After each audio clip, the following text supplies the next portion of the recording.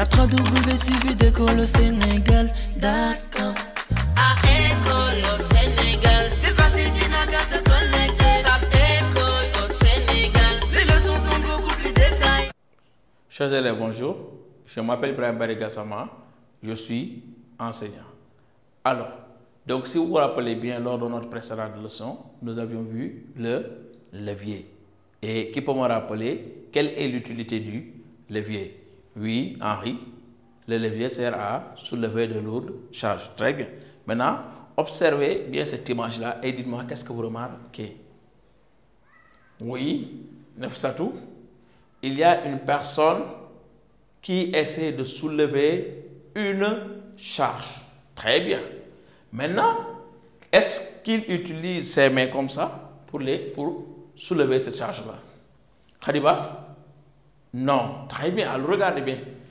Quel objet utilise-t-il pour, n'est-ce pas, soulever la charge? Oui, derrière Marie-Renée, une poulie. Très bien. Très bien. Il utilise une poulie. Donc, l'objet de notre étude aujourd'hui, c'est la poulie. Très bien. Alors, regardez bien le mot qui s'écrit avec un E muet. Très bien. Alors, regardez bien la poulie. Alors, essayez de me décrire la poulie. Oui, Mohamed, c'est une petite roue. Très bien. Qui porte sur sa jante, ici, au niveau de sa jante, une corde. Ici, nous avons une corde. Mais ça peut être aussi quoi? Ça peut être aussi, oui, Khadiba, une chaîne. Très bien. Ou bien quoi encore? Quoi encore, Ismaël Ou bien aussi un câble. Très bien. Donc, ici, on dit que la poulie est une petite roue qui porte sur sa jante une corde, n'est-ce pas? Ou bien un câble ou bien une chaîne.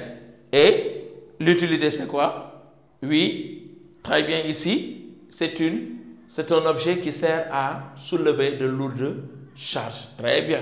C'est un objet qui sert à soulever de lourdes charges. Et là, vous voyez que il y a un effort que l'on fournit. La personne fournit un effort pour tirer, n'est-ce pas, et faire monter cette charge-là. Très bien. Alors, maintenant, ici au Sénégal, généralement, qui utilise le, la poulie? Oui, nous avons les maçons, on les voit, et c'est partout, hein, dans le monde, les maçons l'utilisent. Très bien. Mais plus particulièrement nous, chez nous, dans les villages, qui? Oui, Aïda, il y a les femmes, d'accord, en milieu rural, qui utilisent la poulie pour tirer l'eau du puits. Très bien. Il n'y a pas que les femmes, hein, attention, hein, tirer de l'eau du puits. Il y a aussi les hommes, hein, d'accord Donc, dans certains villages, vous voyez des puits, des puits qui ont une certaine profondeur, n'est-ce pas? Et là, n'est-ce pas, on utilise la poulie pour tirer l'eau du, du puits. Très bien.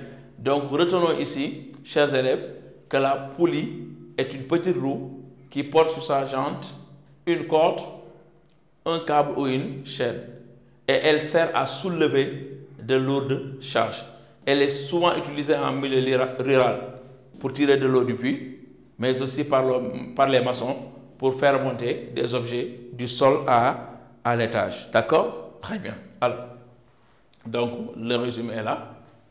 La poulie est une petite roue qui porte sur sa jante une corde, un câble ou une chaîne. Elle sert à soulever de lourdes charges. Elle est souvent utilisée en milieu rural pour tirer de l'eau du puits, mais aussi par les maçons pour monter des objets du sol à l'étage. Très bien. Alors, regardez en évaluation, première question, à quoi sert la poulie? Deuxième question, euh, là, on vous dit, cite un ouvrier que tu connais qui a l'habitude de l'utiliser dans son travail, ici au Sénégal. Hein? Voilà. Je vous laisse quelques minutes nous allons passer à la correction. Très bien. Alpha de côté. Oui. Donc, la police sert à soulever, elle sert à soulever. Très bien.